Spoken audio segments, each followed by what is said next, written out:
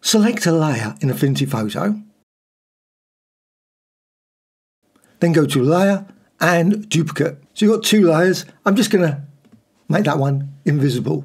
So just click there. Now with that background layer selected there, I can go to Layer and to New Live Mask Layer, and I can use one of these ones. I'm going to go with Band Pass. So select that, virtually nothing now. Well, you can modify the settings here. You can go for low band, push that down to about zero, and also high band, push it up to 100.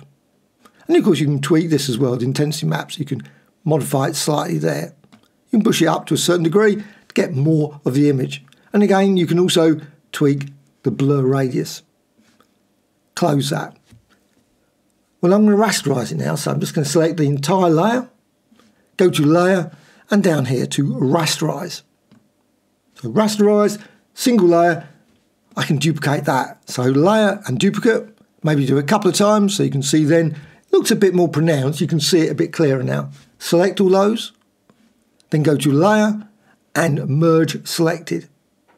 Once it's selected, then bring back the other one. Or you can go here, down to effects, make certain that one is selected, not the other one. Click effects, and then go to bevel and emboss. You can use some of the others as well, of course, but go with bevel and emboss. Modify the radius. Also, click here at the profile. Just go for this one. I think the second one probably works about best, but you can try the others, just go through them, just see which one you like. Maybe that one as well. And of course, you can tweak the profile, so you can modify that. And once you're happy with it, and of course, you can try out these as well, emboss. Just different effects, maybe pillow, and close. Well, you've got this very mottled, very unusual design now, sort of very three-dimensional.